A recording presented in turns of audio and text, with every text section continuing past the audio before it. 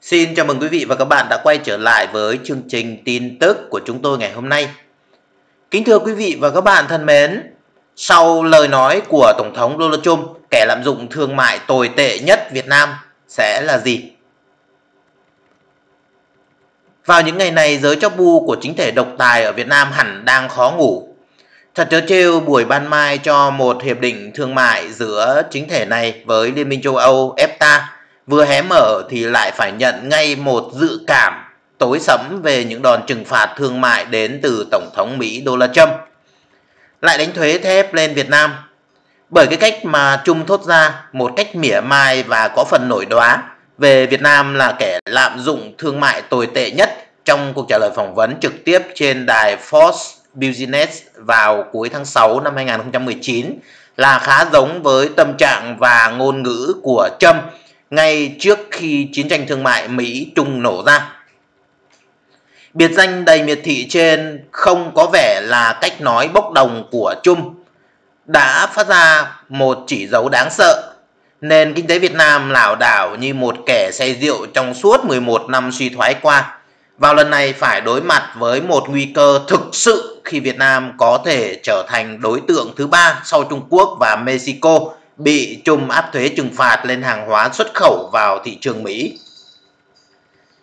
Nói là làm, chỉ ít ngày sau sự xuất hiện biệt danh kẻ lạm dụng thương mại tồi tệ nhất của Tổng thống Mỹ Donald Trump, Bộ Thương mại nước này đã thông báo sẽ đánh thuế lên các sản phẩm thép từ Việt Nam có xuất xứ từ Hàn Quốc và Đài Loan nhằm tránh thuế chống bán phá giá với thuế suất có thể lên đến 456,23% một cú bồi tiếp theo việc Mỹ đánh thuế thép Việt Nam có nguồn gốc từ Trung Quốc lên đến 531% vào cuối năm 2017. Vì sao giới chức Mỹ trở nên nghiêm khắc với hàng hóa Việt Nam? Việt Nam đã thông đồng với Trung Quốc để lừa người Mỹ. Từ cuối năm 2017, những đòn trừng phạt đầu tiên của Trung đã khởi động loạt đầu là những cú tăng vọt thuế lên mặt hàng tôm rồi sau đó là thép và cả nhôm của Việt Nam xuất sang Mỹ. Nhưng những đòn này vẫn chưa thấm vào đâu nếu nhìn tương lai đầy đe dọa bắt nguồn từ cuộc chiến thương mại Mỹ-Trung. Bắt đầu từ năm 2018, Trung khởi động chiến dịch tấn công vào nền kinh tế Trung Quốc và có thể cả vào hệ thống chính trị độc tài của quốc gia đông dân nhất thế giới này. Chỉ ít lâu sau đó, một làn sóng ngấm ngầm di chuyển vùng đầu tư từ các doanh nghiệp Trung Quốc vào Việt Nam đã diễn ra. Còn đến khi chung áp thuế cao ngất lên toàn bộ hàng hóa Trung Quốc thì làn sóng doanh nghiệp Trung Quốc đổ bộ vào Việt Nam đã trở thành một phong trào thực sự. Chỉ trong tháng 6 đầu năm 2019 đã có đến 2,2 tỷ đô la đăng ký vốn đầu tư của Trung Quốc đổ vào Việt Nam. Nhưng nguồn cơn khiến Trung và nhiều quan chức Mỹ giận dữ là chính quyền Việt Nam đã trở thành một nhân tố tiếp tay cho hàng Trung Quốc gắn nhãn Made in Việt Nam nhạt tràn ngập vào thị trường Hoa Kỳ. Trong vụ tung ra biện pháp trừng phạt đánh thuế thép Việt Nam có nguồn gốc Trung Quốc vào tháng 12 2017, Bộ Thương mại Hoa Kỳ đã xác định rằng có đến 90% sản phẩm thép từ Việt Nam nhập sang Mỹ có xuất xứ từ Trung Cộng. Trong khi đó, Việt Nam một số chuyên gia độc lập đã cảnh báo về việc nhôm tấm của Trung Quốc mượn đường Việt Nam sang Mỹ, nhưng chính phủ và Bộ Công Thương Việt Nam không có hành động cứng rắn gì. Không những thế, còn có một lỗ hổng pháp lý và dường như bộ này cố tình để cho Trung Quốc tuồn hàng qua Việt Nam. Cũng có nghĩa là thặng dư thương mại của Việt Nam với Mỹ bao gồm cả giá trị hàng hóa thép và nhôm có xuất xứ từ Trung Cộng Việt Nam đã thông đồng với Trung Cộng để lừa người dân Mỹ.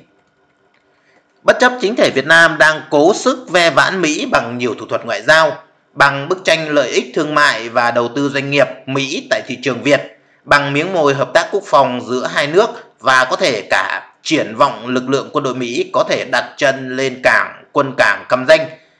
Tiền vẫn là tiền, trong não trạng quan niệm và bản chất của một nhà kinh doanh quá đỗi thực dụng như Donald Trump một lần nữa nhưng vào lần này có vẻ thật quy tắc công bằng và đối ứng của chung rất có thể sẽ áp đặt một cách thực trạng lên cán cân thương mại Việt Mỹ. Việt Nam sẽ chỉ được xuất siêu vào Mỹ dưới 8 tỷ đô la mỗi năm. Chỉ ít tháng sau khi nhậm chức, Tổng thống Mỹ Donald Trump đã dương cao ngọn cờ công bằng và đối ứng. Một đòn thương mại liệt Việt Nam vào danh sách 16 quốc gia gây hại cho nền kinh tế Mỹ và đòi hỏi các bộ trưởng thương mại và bộ tài chính Mỹ phải thực thi những biện pháp quyết liệt về hàng rào thuế quan thương mại đối với hàng Việt Nam. Đến tháng 5 năm 2018, một tin rất xấu xảy đến với chính thể độc đảng, độc đảng toàn trị Việt Nam. Hoa Kỳ lộ hẳn mục tiêu đòi nợ qua cán cân thương mại Mỹ-Việt quá chênh lệch trong những năm qua. Khi đó, ông Jeffrey Gerbrich, Phó đại diện thương mại Mỹ đã tiến hành một chuyến công du đầy ẩn ý đến Hà Nội và gặp một quan chức cao cấp phụ trách kinh tế của Việt Nam là Ủy viên Bộ Chính trị kiêm Phó Thủ tướng Vương Đình Huệ. Mặc dù báo đảng Việt Nam chỉ tường thuật sơ sài, ông Jeffrey Getrich. Hoa Kỳ mong muốn đạt được thỏa thuận với Việt Nam liên quan đến các vướng mắc về nhập khẩu ô tô, thanh toán điện tử và quy định về đặt thiết bị quản lý dữ liệu người dùng Việt Nam tại Việt Nam trong dự thảo luật an ninh mạng. Nhưng một số nhà quan sát kinh tế cho rằng nội dung chính mà Jeffrey Gerrits làm việc với Việt Nam sẽ là san bằng thâm hụt thương mại theo yêu cầu của Tổng thống Donald Trump nhằm buộc Việt Nam phải hạ mức thâm hụt thương mại xuống mức dưới 8 tỷ đô la một năm. Quả thật nếu những năm tới Việt Nam phải tự cắt giảm mức thâm hụt thương mại vào thị trường Mỹ, bi kịch xuất khẩu sẽ kéo theo bi kịch kinh tế và cũng là bi kịch ngân sách dành cho chế độ một đảng ở Việt Nam. Con số xuất siêu chỉ có 8 tỷ đô la trên một năm sẽ khiến giá trị xuất siêu của Việt Nam vào thị trường Mỹ sẽ hụt xuống 75 đến 80% so với những năm trước, làm cho cán cân nhập siêu của Việt Nam từ các thị trường khác, đặc biệt là từ Trung Quốc tăng mạnh. Trong khi đó, bức tranh quan hệ thương mại tổng thể giữa Việt Nam với các thị trường khác đang mang gam màu tối sẫm.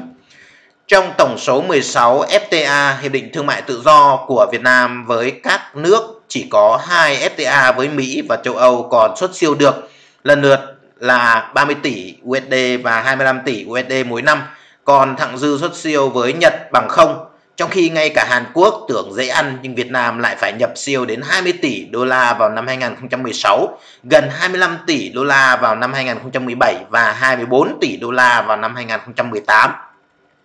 Còn đối với Trung Quốc thì khỏi phải nói, con số nhập nhiều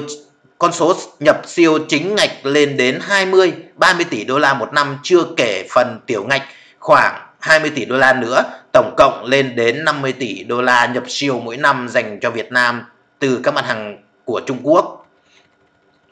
Ông Trọng sẽ làm gì để đối phó với việc cân bằng thương mại của Mỹ đánh lên Việt Nam?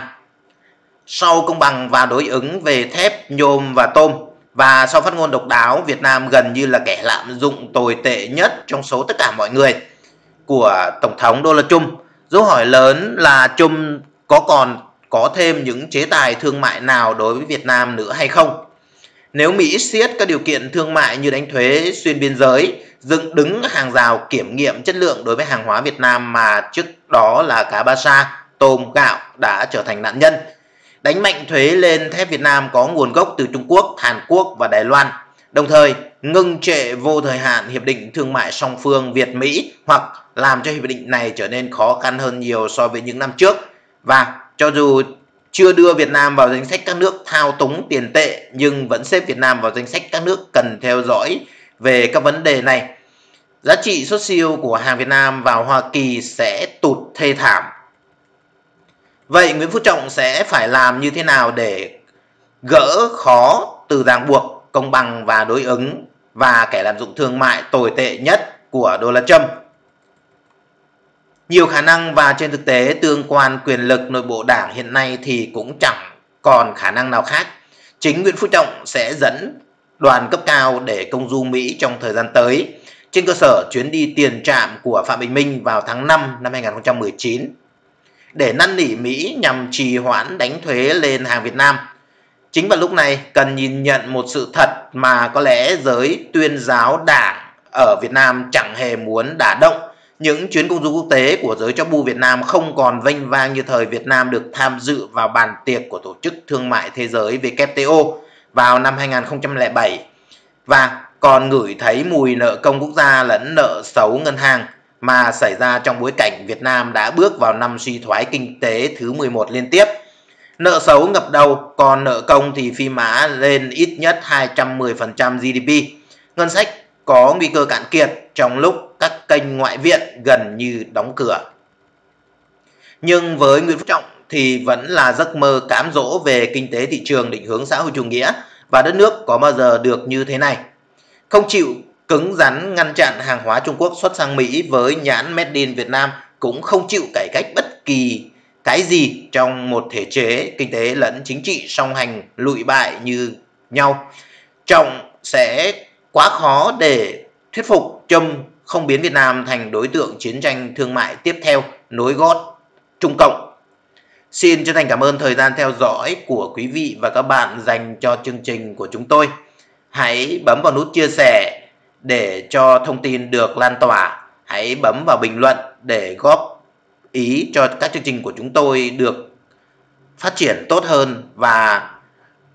hãy bấm vào nút đăng ký, bấm vào quả chuông bên cạnh nút đăng ký để nhận được những thông báo nhanh nhất, sớm nhất về các chương trình của chúng tôi sắp phát hành.